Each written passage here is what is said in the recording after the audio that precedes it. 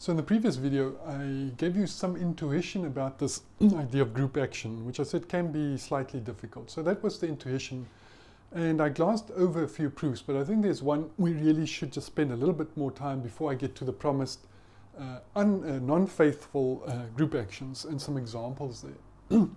Remember in the previous lecture, and, and, if you haven't watched it, this is not going to make sense, so I'll, I'll put a link, link up there. So I had my set with three elements, and I had the G, I'm going to write G set, that's the set that is part of the group G, and that was this E tau 1, 2, 3, or tau 1, 2, 1, 3, 2, 3, sigma, sigma squared. And, and the, the, the idea is, how, do we, the idea here behind group actions is that these are represented by permutations of that set. So group actions is to have the elements of a set that makes up a group uh, uh, on onto another set, and th those are permutations. And what we mentioned quickly was this sigma g function that maps A to A. Now think about what happens when I map a set to itself. So I have a set of objects and I map it to itself. That is the definition of a permutation. I'm just going to scramble the order of those, of those elements. That is a permutation. And we define sigma g as mapping A to the action of an element in G onto A. So remember this symbol, that doesn't mean this A and this A is the same thing. Uh, it just means I'm running through all the A's for every G. So if we, if we think about what sigma was, what this, the mapping of the sigma was, it mapped, sigma there, it mapped 2, there's the 2, and that is the 1 there and then the 3 and the 2. So see these two A's, it doesn't mean they're the same thing when I use the symbol. It's not equal to each other. It's something different. So 2 was, was equal to then sigma dot 1, and 3 was equal to sigma dot 2, and 1 was equal to sigma dot 3. So it's an action of the group set, one of the elements in the group, on one of the elements in the set. The action of that same element G so this G is the same G, G, G, and one of the G's I picked here was sigma, so it's this action of sigma on 1, the action of sigma on 2, the action of sigma on 3, and that's what it did to this side. But I'm showing this sigma the other way around now. And what we could see here is that really this was a bijection. This was a bijection because I have all the elements there and I have all the elements there. They are not repeated. This is a one-to-one -one and onto mapping. And really, so it, it, uh, for our example here at work, but it would be much more powerful if I can show in general that this is a bijection, because if it is a bijection, I'm really dealing here with a permutation. Because every time I take a different one of these, one of these, and it acts on there, you know, I'm going to get this, or this is equal to this action on this side. So really, if this is, if if this is a bijection, if this is a biject function, then I am really you know, representing each of these with a permutation. And that is the power of group actions here. And I mentioned to you very quickly, we use, we use proofs from, from set theory. We're going to just show uh, that this is actually a, a two-sided inverse. This function is a two-sided inverse. And I just want to give you some intuition behind those proofs as well. So two, to show that it's a if, if it is a two-sided inverse, it is a bijection. So I'm going to use that form of a proof to show that this is a bijection. And what you do is you say that if I have sigma of the inverse of one of the elements, so whatever the inverse of that was, with that on A, that I get back to A. If I have this composition of two of these, and such that one time I use the, the inverse in G and uh, uh, an element in G and its inverse, that I get back A. So what I'm saying is I'm mapping the whole set A finally through the whole composite of two actions back to the whole A. So I must get all of the elements A here, take it through a composition of these actions, and I must land up with all those elements once again. And the other way around as well, so there must be an inverse there. So if I have this, then the inverse, I land up, up back with, with a again, equal sign. So I land up with the A, A's as well. Now I can show you that this one is an injective mapping. So imagine here I start with all the A's. I start with all the A's. And then, so my first map is this one. That's the sigma of G.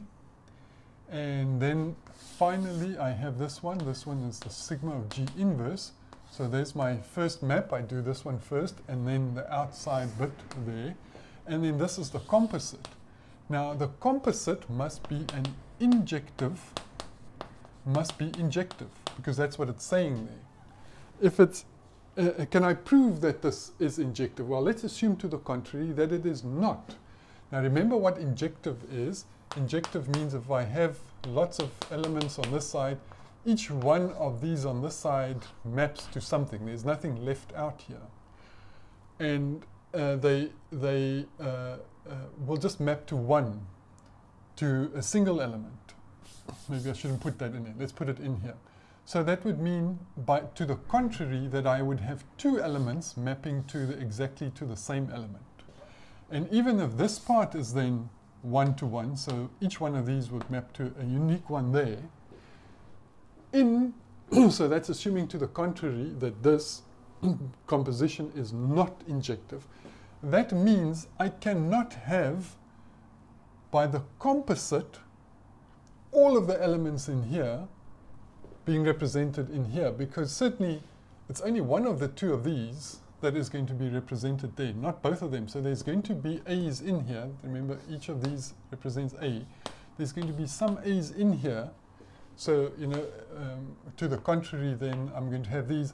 Only that one is mapped and that one is mapped. This one's not mapped at all. So these two can definitely not equal each other. This says that, that it should be equal. The composite means that all the elements A here should eventually appear here. But if I let this first step not be, to the contrary, not be injective, so 2 would go to the same one, all of these will not eventually make it to there. So by assumption to the contrary proves that, that this is injective. That doesn't make it surjective, specifically if you think about if my set here is infinite in size. Now let's do it this way. So again, I have the whole A, the whole A, the whole A, and my first mapping here is now the G, uh, sigma G inverse. My second mapping here is sigma of G. And I'm suggesting that this, the whole thing must be, that the, all of A is all of there. But let's assume to the contrary that it is, so this way around, you'd look at to, to show that it is surjective, that this is surjective. Now, if I, if I say to the contrary, let's not make it surjective. Now, it not being surjective means that there's elements here on the second side which don't get mapped to. So there's a whole bunch here. So there's a whole bunch here that I can just take away. They are not being mapped to. So to the contrary, I assume that this bit is not surjective. So there's some that are not mapped to. Well, then you can think of the fact that if there's this one mapped to this one mapped to there, through the composite here, going through first through this one, then through that one, there are some here that are not going to land up over there. In other words, not all of these, not all of these make it into there, so it's not the whole A that I'm talking about. So if I assume that it's not surjective, then the composite doesn't work. Because there are going to be some in here which, you know, don't end up there. So it has to be surjective. So this thing, a composition of this thing must be injective. It must be surjective. Therefore, it is a bijection. So if we have a two-sided inverse, and that's a two-sided inverse, this must be, and we saw a beautiful example here, it, of course it is a, a bijection, because it is a bijection.